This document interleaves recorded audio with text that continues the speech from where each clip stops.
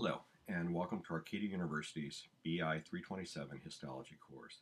This is the second of the three-part series of lectures on cartilage, and in this lecture we're going to focus in on the properties and characteristics of hyaline cartilage. If we take a look at hyaline cartilage, what we're going to see is going to be the traditional structure that is the major component of the fetal skeleton. Um, and it's also going to be found within specific regions within the adult. Uh, it's an example, again, of a skeletal connective tissue. Uh, it's going to be capable of very rapid growth, um, but it still has the protective rigid structure that we'd expect from a skeletal unit. And so we are going to see this within the fetal skeleton where we need to have the structure of the body, essentially the, the skeletal elements supporting the, the differentiation of the body, as well as the, the protective mechanisms, of the skeleton protecting those uh, fetal organs, but being capable of very rapid growth uh, that we see during early fetal development. You can also find hyaline cartilage in the epiphyseal growth plates, uh, or essentially the epiphyseal plates, the, the tips of the long bones, where they're essentially looking at uh, the articulation site, the, the, um, the location where two long bones come together, and move in relationship to one another within a joint cavity. So again, the, the basic location where we'll find hyaline cartilage within the adult are the articular cartilage at the end of the bones. There's some rib cartilages, uh, laryngeal cartilages. Uh, very common, we'll look at examples of this within the respiratory system, rings supporting the trachea, as well as irregular cartilage uh, clusters or plates uh, within the walls of bronchi. Now, if we take a look at this, again, the characteristics of hyaline cartilage is that they're going to be thin fibrils of type 2 collagen. Again, type 2 collagen, a finer collagen that we saw uh, with type 1 collagen in the more classic uh, connective tissues like the, the tendons, the ligaments, the, uh, the loose connective tissues uh, that we see kind of throughout the body. But we're going to see a specialized type 2 collagen a thinner, finer matrix uh, within the extracellular matrix within the hyaline cartilage.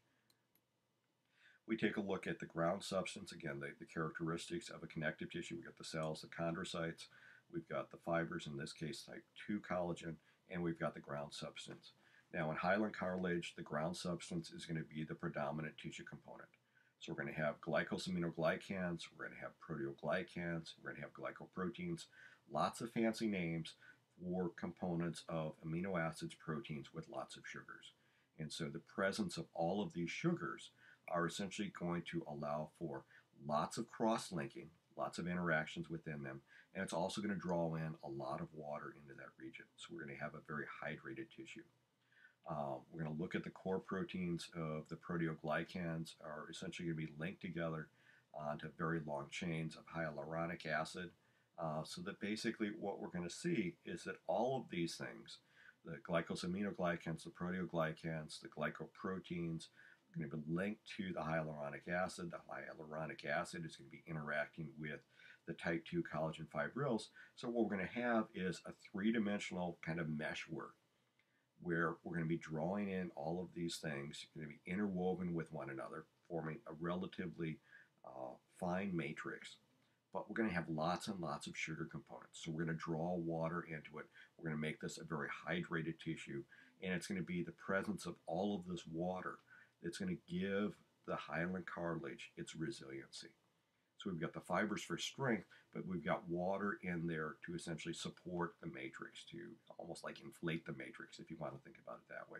And it's going to be the presence of uh, the water in there that's going to give it hydrostatic properties, almost like a almost like a little shock absorber within these tissues.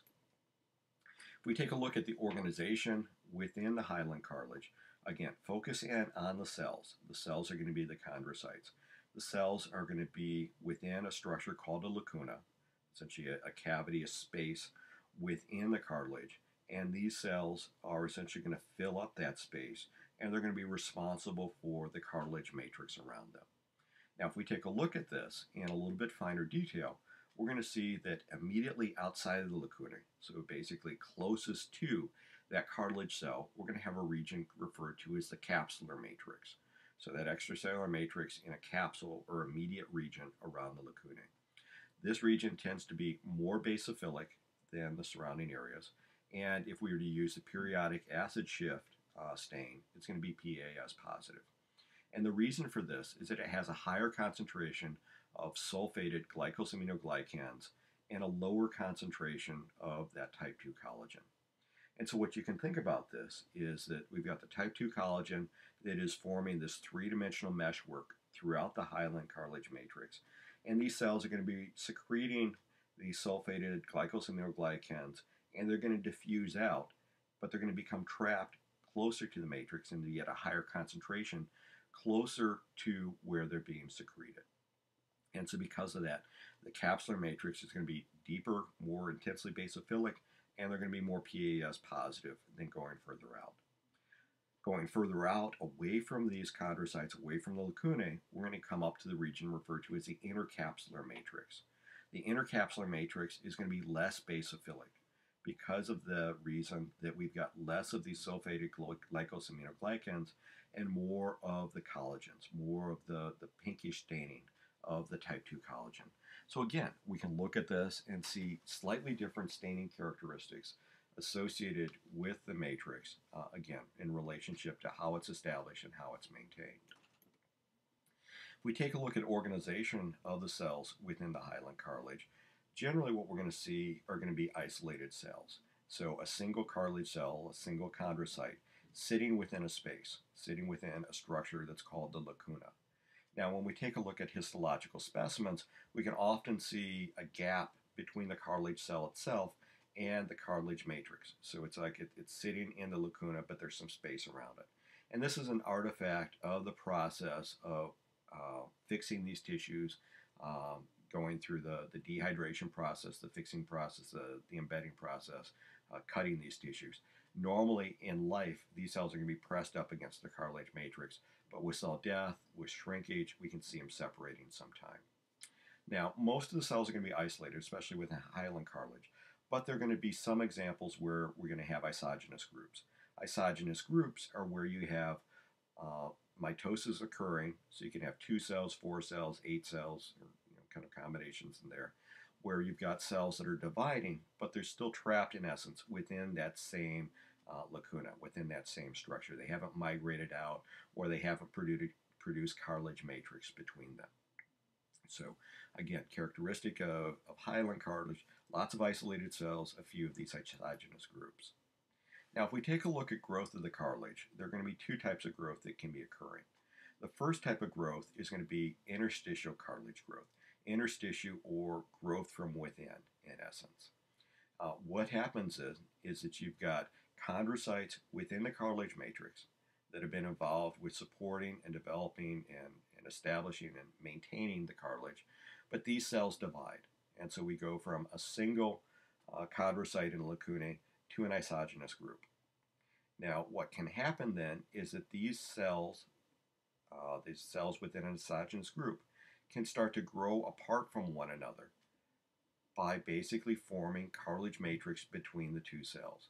And by growing apart, they're going to push themselves away from one another by adding new cartilage in between them.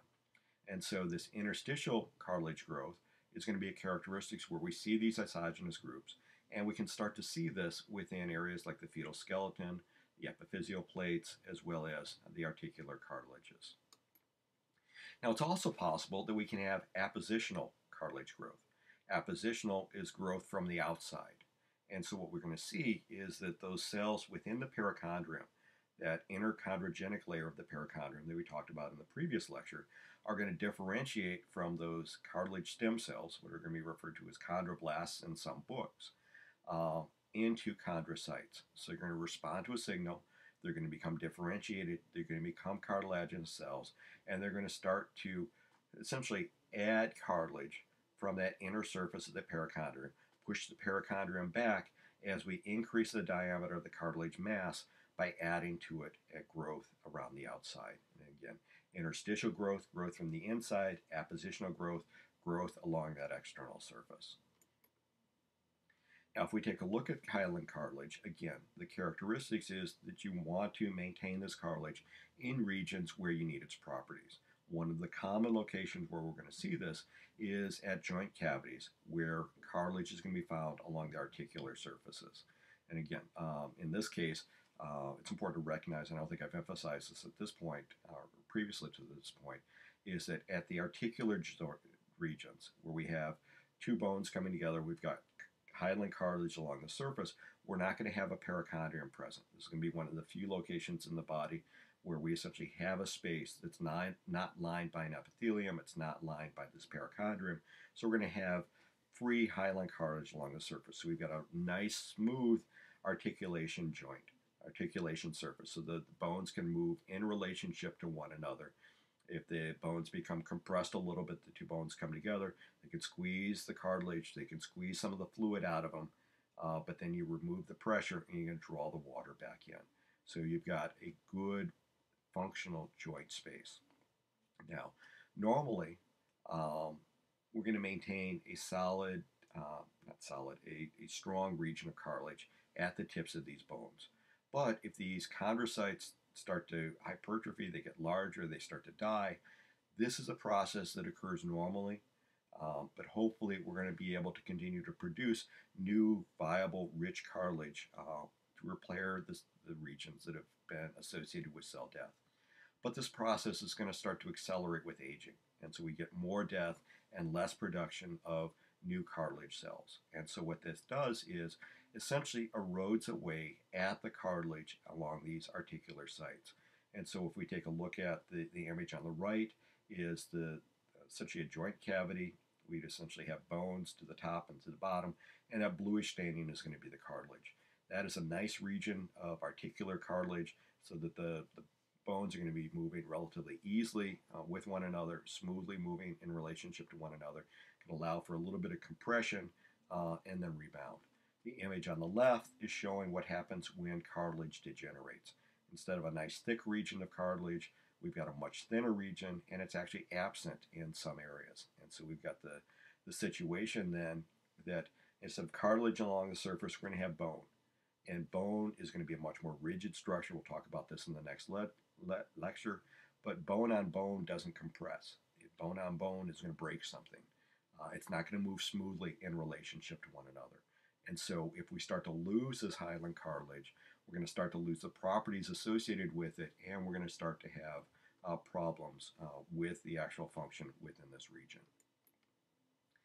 Now that's the end of our discussion of hyaline cartilage. Um, the next lecture, we're going to talk about two additional types of cartilage. We're going to talk about elastic cartilage and um, fibrocartilage. Uh, as always, if you have any questions, feel free to email me at hoffmanj at arcadia.edu. Thank you.